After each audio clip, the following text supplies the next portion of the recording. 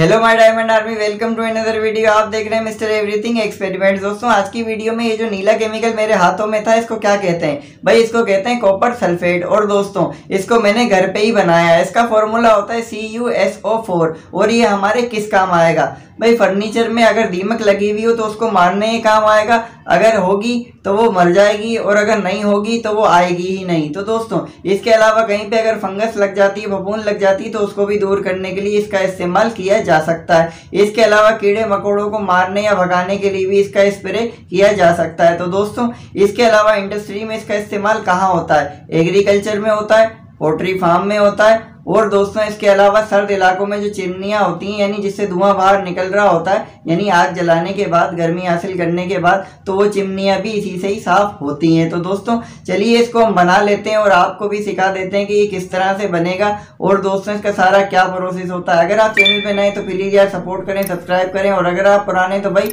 दिल से thank you चलिए इस एक्सपेरिमेंट को हम शुरू करते हैं। Please subscribe mister Everything Experiments.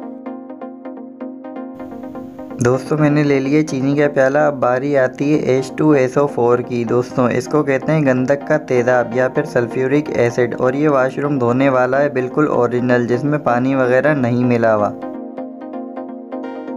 अब बारी आती है एच टू ओ टू यानी कि हाइड्रोजन पर दोस्तों, ये मेडिसिन में भी इस्तेमाल होती है और क्लीनिंग में भी इस्तेमाल होती है और गारमेंट फैक्ट्री में भी इस्तेमाल होती है।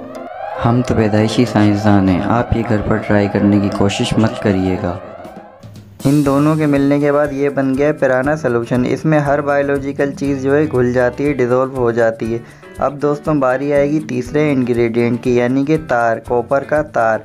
दोस्तों, इसको जब इसमें डालेंगे तो ये रिएक्शन शुरू हो चुका है। इसको कहते हैं एक्जोथर्मिक रिएक्शन यानी कि इसमें गर्मी भी पैदा होती है और दोस्तों, इसके अलावा कॉपर सल्फेट बन जाता है, जिसको उर्दू में कहते हैं नीला तोता। पुराने टाइम में इसको जहर के तौर पर भी इस्तेमाल किया जाता था। अब दोस्तों, इसको आप फास्ट फॉरवर्ड में देखेंगे और इसकी आवाज़ सुनिए।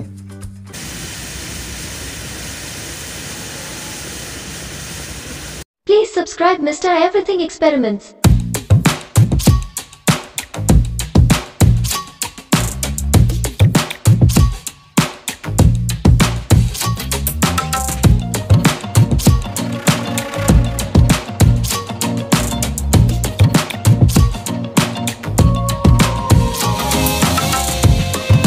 दोस्तों रिएक्शन मुकम्मल हो चुका है। प्लास की मदद से मैंने इसमें से जितना भी मेरा कॉपर था, यानी तांबा था, वो मैंने निकाल लिया है। तो दोस्तों, अब इसके अंदर मैं मिलाऊँगा पानी ताकि इसकी इंटेंसिटी ज़रा कम हो जाए।